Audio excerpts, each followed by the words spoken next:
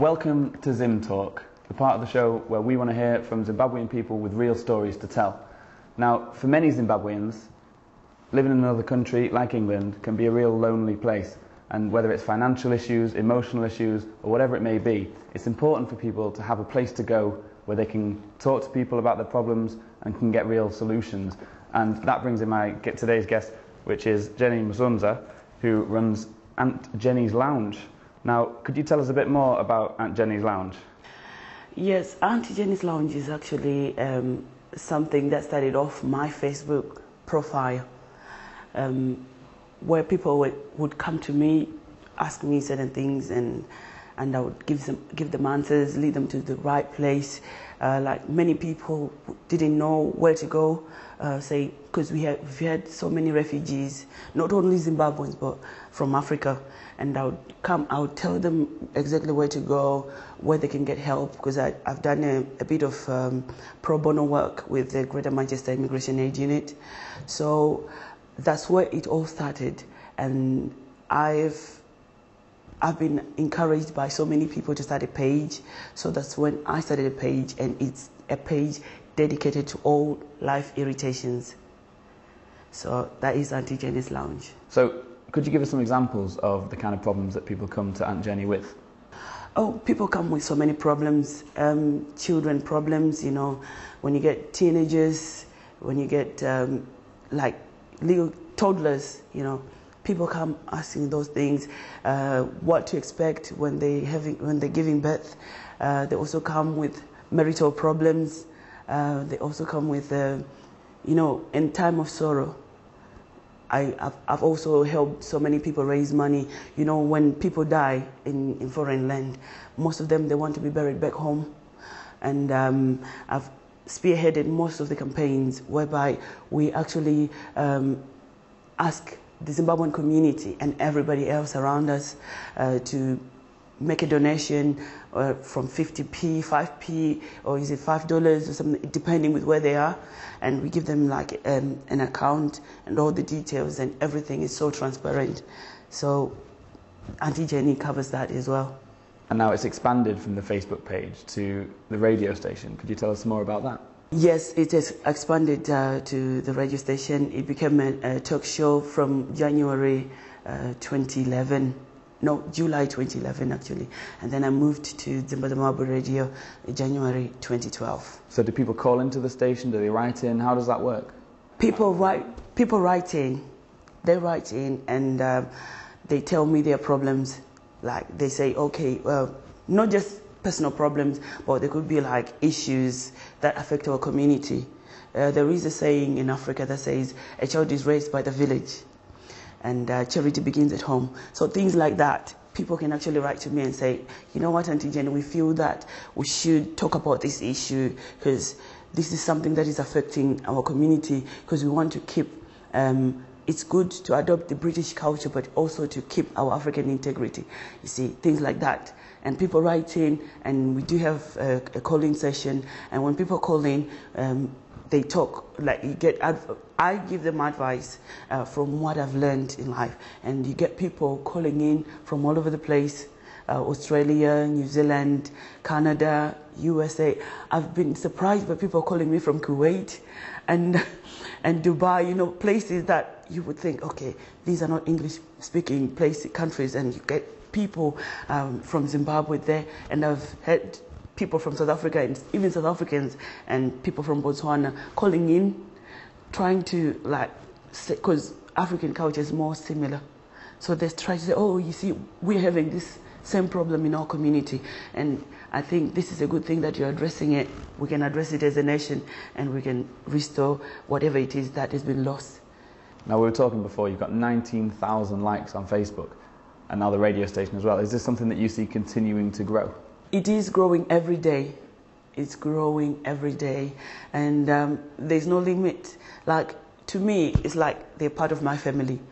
I have 19,000 family members, if you know what I mean. If I include my Facebook friends, there'll be more than 21,000 people. So I, I really enjoy it. But that's quite a lot of responsibility, isn't it? No, no, actually. Um, to me, it's natural. I don't see it as a, as a responsibility because if I see it as a responsibility, it will come out as um, a burden, if you know what I mean. I, I, I take it as a calling. Now, we were chatting earlier, and this is actually one of only many things that you do. Could you briefly tell us the other activities you get up to? Um, in my, um, I have um, an LLB honors a year, and I've done a one year legal practice course, making me a trainee solicitor. So um, I've taken a year out so that I can find myself because I need to establish Auntie Jenny's Lounge and make sure that it's where I want it to be. Because the lounge place, you know, in the house, you get um, the dining room, the kitchen, the bedroom, but the lounge is where everybody else comes in and they sit down and talk as a family or as a community. You know, if you have neighbors, they, they don't come into your bedroom, they come into the lounge and then you talk about whatever it is that's happening. So I want it to grow into uh, some form of charity because I do work with different charity organizations that I do support. But I need Auntie Jenny's Lounge to be like uh, its own charity, standing on its own. So this is something that we're working on because I've discovered that there's so many things that you need to do in the UK if you want to register as a charity. So that's what we're working on. And then there's the hairdressing, the DJing. I'm a, I'm a DJ, like a radio DJ, radio, radio personality, a talk show host. I'm also a hairdresser. I'm a mother. Um, I have two sons and a daughter. I adopted a daughter, which means I'm a grandmother as well because I've got two grandchildren. I think one thing our ATV viewers really want to know is where on earth do you get the energy for all this?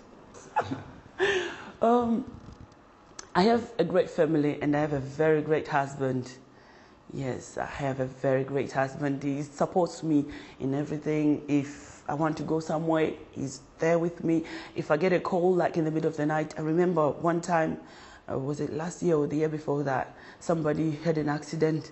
Uh, somebody ran them over on Chitimu Road, and there was Zimbabwean, and somebody just said, "Oh, you know what? I know Auntie Jenny. Can you call Auntie Jenny, please? I need them." And I was there. It was like 3 a.m. in the morning, and it being a weekend, you know, you know, in, in Manchester, eight o'clock is like daytime to us. So from 8 to 1, we were having a good time, having a chat with some family members. And when I, when I put the babies to rest and I was about to rest, somebody called me saying, Oh, we have an emergency. Somebody's in hospital. I'm not a doctor, I'm not a nurse, but I've worked in the nurse field as well. But me just being there helped that family a lot because they had someone to talk to, someone to calm them down, an independent person uh, who could like neutralize the situation.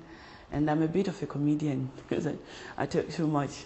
So Well, they do say laughter is the best medicine. best medicine, that's the best cure, and that's the best cure that I give to people every time they come to me. Now, you told me before that this incredibly active lifestyle you lead, a lot of it comes down to the upbringing you had. Oh yes, oh yes. Um, most Zimbabweans will know my grandfather. He was called uh, Sekuru Msonza. He did programs similar to Auntie Jenny, what Auntie Jenny is like. He, he would give people wisdom. He was on, um, on the local radio station in Zimbabwe and on TV as well. So most people will know him, and that's my grandfather. And my dad um, also helped as well, my mom and dad, because we were raised as children, not as girls or boys, no. And um, you'll be surprised if I have a breakdown, if I have a flat tire, I can change my tire and do that on my own. That's what my dad taught me. I'm also a locksmith in training because my dad owns a locksmith company. So don't be calling me to pick up keys, no.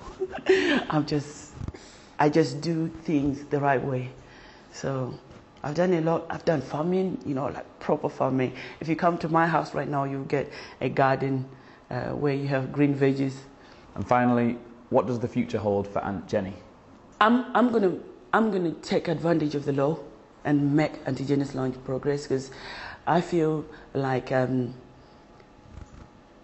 I will speak for the voiceless, if you know what I mean. Because um, there's another part that I left as well. I'm a human rights activist.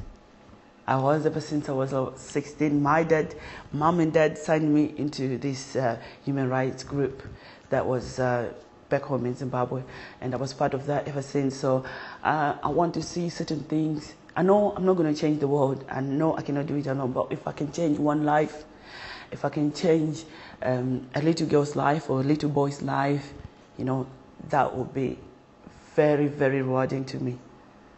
Jenny Msonza, thank you so much for joining us on ATV. Oh, well, thank you very much, Liam, for having me.